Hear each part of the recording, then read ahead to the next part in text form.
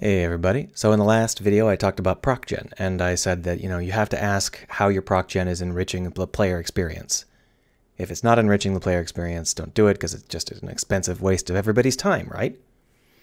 I also talked a little bit about Watch Dogs Legion where I said that you can generate all of London. It's a very powerful technical skill, but it doesn't enrich the player experience because nobody cares about any of these people. It just kind of ends up being distracting. But that isn't necessarily how it has to be. Random people can be interesting. And I thought I should talk about one particular way to do that, just to kind of open your mind a little bit. There's plenty of people who can talk about how do you randomly generate maps that are interesting because there's a million techniques and it's very well explored. But when it comes to generating interesting people, that's not something we talk about a lot. And the times we do talk about it, we tend to talk about it from the perspective of a cool algorithm I found rather than is this interesting to the player in the slightest. So let's go ahead and have a nice fantasy discussion where we say, if we were in charge of Watch Dogs Legion, what would we have done? Um, obviously, this is complete fantasy. We're, we're not even pretending that we would have been able to do better. We're just using it as a thought experiment so that we can talk about this particular concept, this kind of procgen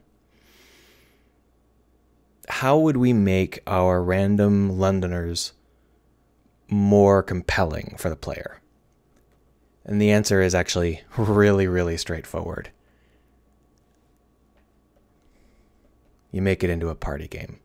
Not like Mario, like Mass Effect. Three people, maybe.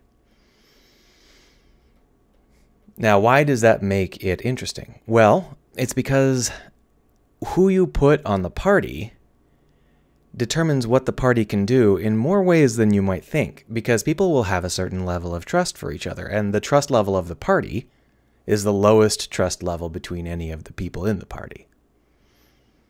The more trusting they are, the more laws they're willing to break. So, you know, if you're if you're a cool hacker lady and you're uh, and your you know football player thug and your statue man get together, they may not trust each other enough to actually do any of the missions you want to do because like these people i don't know them they might betray me they might they might do something stupid they might get caught and then immediately you know spill the beans. And it's like obviously you're not going to break very many laws with those kinds of people in your party. So you gotta find some people that they can trust. Recruit their friends their family members you have to if you want to do any of the you know, more illegal missions.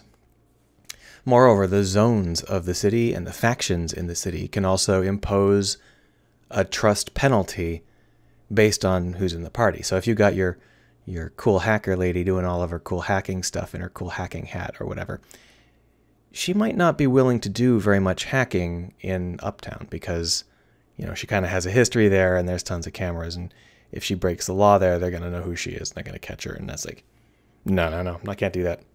So if you want to do missions in Uptown, you're going to have to find a different hacker or put together a team she trusts so much that she's willing to break the law even though she's a little bit scared. Same with factions, right? She doesn't want to deal with a particular corporation or whatever. This setup allows you to have a very responsive environment of people. As the player is moving through the game world, here's a map of the city, can you tell? As the player is moving through this game world doing stuff, and you know, here X marks a spot, X marks a spot, ha ha ha, X marks a spot. Yeah, they're gonna have to understand who is willing to go to these places, who is willing to break the law that much against these people, and who they can be teamed up with. And the idea here is that you're going to spend a lot of time having to recruit new people just because the old people won't be willing to do highly illegal things in these new locations. I think it's a pretty compelling basic approach, and the idea behind this is that we are taking something that used to be a singular checkbox and we're turning it into a tapestry, we're turning it into a terrain obviously, Watch Dogs Legions does have most of these pieces. but they're not arranged in a way that actually works. Just like with No Man's Sky, in theory, the gameplay is about using your limited resources to get other resources off of the planets before you run out of air or energy or whatever. But in practice, the planets aren't generated with that in mind. And it's the same with Watch Dogs Legions. The the pieces are not arranged in a way that creates a compelling rolling action. It's just, oh, here's a little tidbit, here's a little tidbit, here's a little tidbit. I guess we did our job. It's like, no, no. If you want to lure the player into your procedural content, then you have to make sure your procedural content exists within the world in a way that really matters. And this is an easy way to do it. You got I mean, people who might have friends or family that they work best with, but those people might not be the most skilled people. So maybe you go and you look for someone else that might have a better, you know, a better set of friends or family that are more skilled. But these guys are all hacker nerds. They don't really know any any uh, thugs, and therefore they're not going to be willing to break the law with any thugs. Oh my gosh, it's going to take forever to build up their friendship. You know, whatever this could be a very compelling way to handle this kind of people creation.